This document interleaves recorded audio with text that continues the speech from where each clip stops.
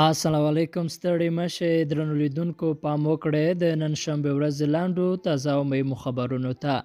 د افغانستان د تیر حکومت بهرنی چارو وزیر محمد حنیف اتمر پر ټویټر لیکلی چې له روان بد وضعیت د وتلو لپاره د طالبان د ټول شموله نظام د راوړلو لپاره په خبرو سلا شي هغه زیاته کړې چې په ملګرو ملتونو کې د دې هیواد د څوکۍ طالبانو ته نه ورکول د طالبانو لپاره یو پیغام دی چې په وطن او بهر کې مشروعیت د ملي ازادۍ لرونکي او د ټولو د حقونو استازیتوب کوونکي حکومت لپاره دی د افغانانو ترمنځ د قطر د سولې خبرې بیا پیل شي. اریانا افغان هوایي شرکت اعلان کړی چې سار له راتلونکې سې شنبه ورځې څخه به د کابل دوبۍ تر منځ خپل پروازونه دوه برابره او هر ورځ به دوه الوتنې تر سره کیږي بلخوا اماراتو کې د افغان سفارت سرچینو ویلي چې د اماراتو حکومت ډاډ ورکړی چې نږدې راتلونکي کې به افغان وګړو ته د سیاحتي ویزو د ورکړې پروسه له سره پیل کړي بلور ته دفاع وزارت وایي چې د اسلامي اردو د جوړولو لپاره هڅې دوام لري د هېواد د وسله والو ځواکونو لوی درستیز وایي چې ډېر ژر به افغانستان د یوې پیاوړې اردو څښتن شي.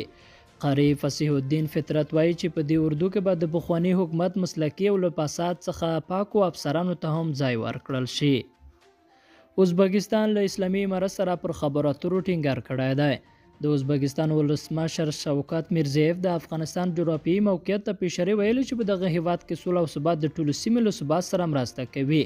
نو نړۍ ته په کار ده چې هرڅه ژر له اسلامي امارت سره د تمول په موخه خبرې اترې پیل کړي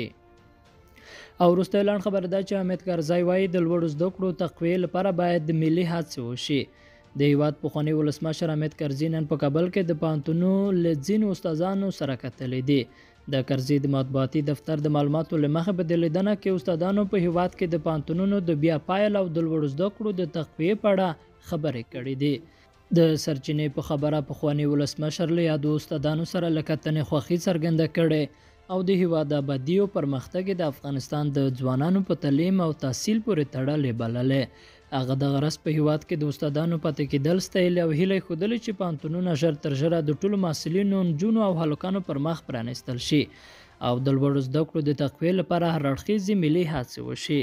لیدونکو له غوږنیونو مه مننه ښې چارې.